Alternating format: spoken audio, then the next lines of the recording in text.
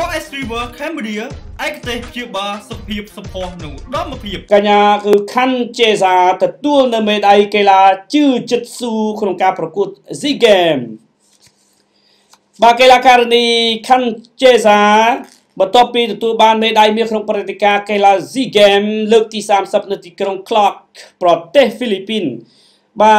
ទ កីឡាករនីជឺចិត្តស៊ូដ៏ឆ្នើមរបស់កម្ពុជា គឺកញ្ញាខាន់ជេសាបានថ្លែងថាមេដាយដែលកញ្ញាទទួលបានពេលនោះគឺសម្រាប់ប្រទេសកម្ពុជាទាំងមូលបើតាមរយៈ Facebook របស់ខាន់ជេសាបានបញ្ជាក់ថាមេដាយមាសនេះសម្រាប់ប្រទេសកម្ពុជាទាំងមូល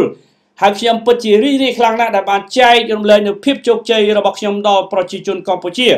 សូមអរគុណចំពោះការស្រឡាញ់និងគាំទ្រ SEA Games លើកទី30នេះពិតជាអស្ចារ្យខ្លាំងណាស់ សូមបញ្ជាក់ថាកីឡាករនីជឺចិត្តស៊ូដ៏ឆ្នើមរបស់កម្ពុជាខាន់ជេសាបានបន្ថែមមេដាយមាសឲ្យកម្ពុជាមួយគ្រឿងទៀតបន្ទាប់ពីឈ្នះកីឡាករនីម្ចាស់ផ្ទះហ្វីលីពីននៅក្នុងព្រឹត្តិការណ៍កីឡា SEA Games លើកទី30កាលពីថ្ងៃម្សិលមិញបាទហើយនេះជាមេដាយទី4សម្រាប់កម្ពុជាហើយនៅក្នុងព្រឹត្តិការណ៍ SEA Games លើកទី30នេះដោយមេដាយមាសរកបានដោយកីឡាករនីកូនកាត់ខ្មែរអាមេរិកក្រុមនេះបានធ្វើឲ្យកម្ពុជា ហក់ឡើងឈរលេខរៀងទី7នៅក្នុងតារាងមេដាយបណ្ដោះអាសន្នជាមួយនឹងមេដាយចំនួន41គ្រឿងដែលមាសមាន4ប្រាក់6និងសម្រិត31គ្រឿង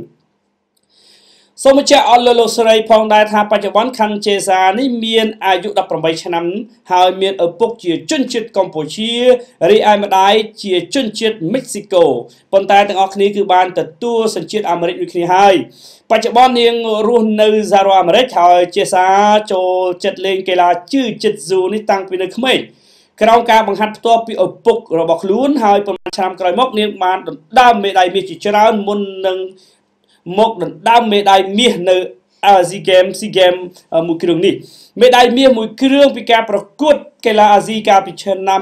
2018នៅប្រទេសឥណ្ឌូនេស៊ីបានធ្វើឲ្យកម្ពុជាបំបែកឯកតតកម្មជាប្រវត្តិសាស្ត្រក្នុងរយៈពេល65ឆ្នាំដែលមិនធ្លាប់បានទទួលមេដាយមាសនោះសោះខណ្ឌជាសាត្រូវបានថ្នាក់ដឹកនាំនឹងប្រជាពលរដ្ឋខ្មែរចាត់ទុកថាជាវីរៈករណីមនារីម្នាក់ បាទដ៏អស្ចារ្យបន្ទាប់ពីនាងដណ្ដើមមេដាយមាសមួយគ្រឿងនេះក្នុងការប្រកួតកីឡា SEA Games នេះបាទអរលោកស្រីចង់ដឹងថាតើកីឡាជឺចិត្តស៊ូជាកីឡាប្រភេទបែបណាហើយគេលេងរបៀបណានោះសូមអរលោកស្រីប្រិមិត្តទេសនានៅបាទវគ្គនៃការប្រកួតផ្ដាច់ព្រាត់ជាមួយនឹងម្ចាស់ផ្ទះហ្វីលីពីនតែម្ដងដែលចេស្ដាចេសាបានឈ្នះនៅមេដាយមាសទេបាទសូមឲ្យប្រិមិត្តទេសនាដោយផ្ទាល់បន្តិចចុះបាទ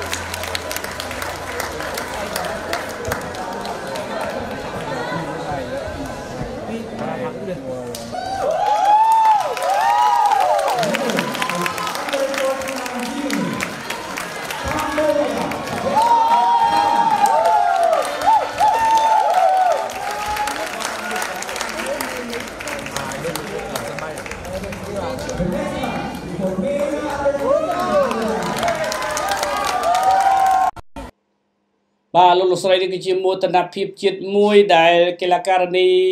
ជេសាទទួលបាននៅមេដាយមាសកីឡាកីឡារបៀបបាទហៅថាជឿចិត្តស៊ូនេះបាទយើងពិបាកមើលថា